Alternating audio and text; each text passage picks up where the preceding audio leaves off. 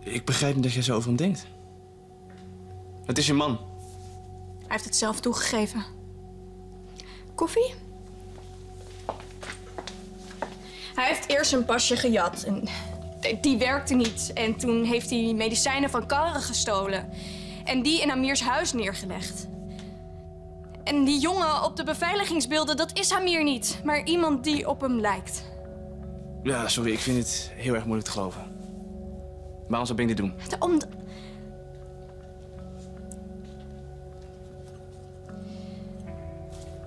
Precies. Er is geen reden. En misschien moet je gewoon even tot rust komen. Amir is de biologische vader van Max.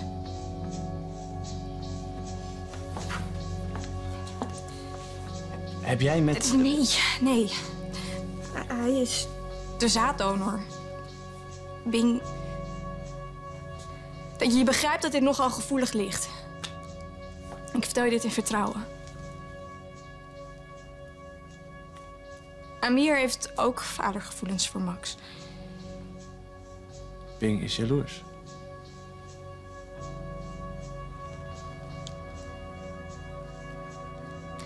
Je moet me echt helpen. Ik wil niet dat Bing de gevangenis ingaat, maar Amir moet eruit. Ja, ik, ik, ik, weet het, ik weet het. Maar, maar je kan toch wel iets doen? Ik weet niet aan wie ik dit anders moet vragen. Je bent hier voor het onderzoek naar de beer. Beloof dat je me helpt? Ik doe wat ik kan.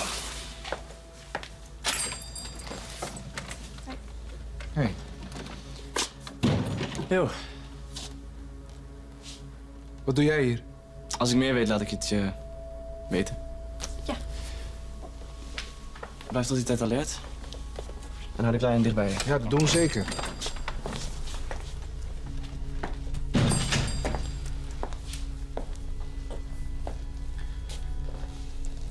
Ik wil dat jullie naar huis komen. Ik wil ook wel eens wat. Lieverd, ik mis je. Ik mis jullie. Zolang Amir vastzit door jou, blijf ik bij mijn ouders wonen. Doe nou niet zo koppig. Dag, Bing.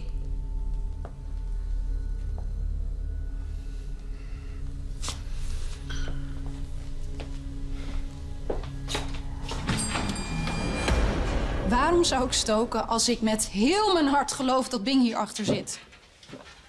Ik wil ook niets liever dan dat jij gewoon je zoon kan zien en dat iedereen daar oké mee is, maar hij kan het niet.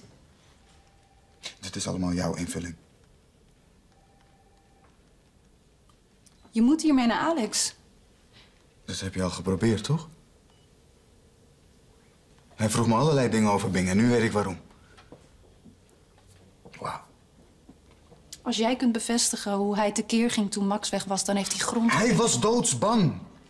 Ik snap donders goed dat je dan maar wat roept, net zoals jij nu doet. Jij bent ook bang dat er wordt vastgezet, of, of, of nog erger. Ja, ik ben bang, ja. En daarom wil ik dat je in ieder geval de optie serieus neemt.